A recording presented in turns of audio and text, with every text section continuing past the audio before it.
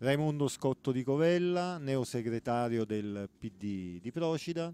Allora, 40 giorni che sei segretario, un primo bilancio di, queste, di questa esperienza e se era eh, appunto come ti aspettavi che fosse? Devo dire che siamo partiti subito con entusiasmo con la nuova squadra, col nuovo direttivo, ci siamo subito dati un, degli obiettivi di di creare una, una campagna elettorale in, in vista delle, delle, prossime politiche, una campagna elettorale pulita, data con, delle, con una... Eh, lontani diciamo, dalla, da queste, da, dalle fake news, dalle, dalle, bugie che possono essere fatte, date dal, da, altri, da altri partiti. Noi siamo una squadra, devo dire, affiatata, eterogenea, con uh, diverse personalità con esperienze eh, importanti diciamo, nella, nella, vita politica procitana.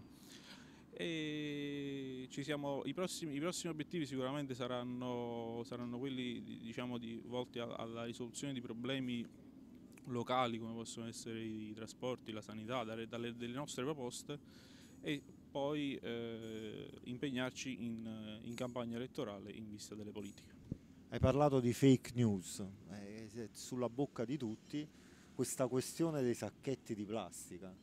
Allora, dacci, eh, dacci il verbo, dacci la verità, questi benedetti sacchetti di plastica. Allora, eh, la questione è semplice, l'Europa ci, ci, dice di, di dover eh, applicare questi, questi, nuovi regolamenti che sicuramente eh, sono eh, volti a migliorare eh, l'ambiente a portare diciamo, un, un, miglioramento poi perché eh, abbiamo, si, è visto che sicuramente eh, l'utilizzo delle plastiche eh, deve essere ridotto e quindi queste, delle politiche volte al miglioramento dell'ambiente sono le politiche cardine del, del, Partito Democratico e non, quindi nessun, nessun tipo di favoritismi di favoritismo a, ad altri, diciamo, a delle società, si è parlato della, della di questa società torinese vicina a Renzi, assolutamente no.